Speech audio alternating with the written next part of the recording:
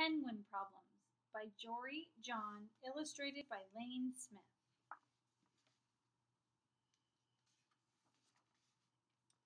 It's way too early. My beak is cold. What's with all the squawking, you guys? It snowed some more last night. I don't even like the snow. It's too bright out here. I'm hungry. I'd like a fish. Where are all the fish? Hey, fish, get out here. The ocean smells too salty today. I'm not buoyant enough. I sink like a dumb rock. It's way too dark down here. Brr.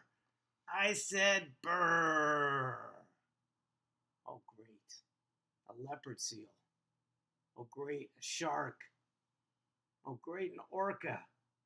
What is it with this place? I don't like being hunted. I'm still hungry, but my flippers ache. I waddle too much. I look silly when I waddle. See? I wish I could fly, but I can't. See?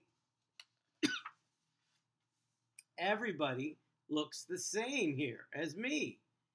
I look the same as everybody else. Mom, I literally have no idea who you are. Dad, I literally have no idea what you're talking about. My name is Mortimer. I have so many problems, and nobody even cares. Excuse me, sir. What? Good afternoon. I sense that today has been difficult, but lo! Look around you, Penguin. Have you noticed the way the mountains are reflected in the ocean like a painting?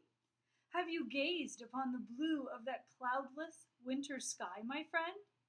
Have you felt the sun as it gently warms your back?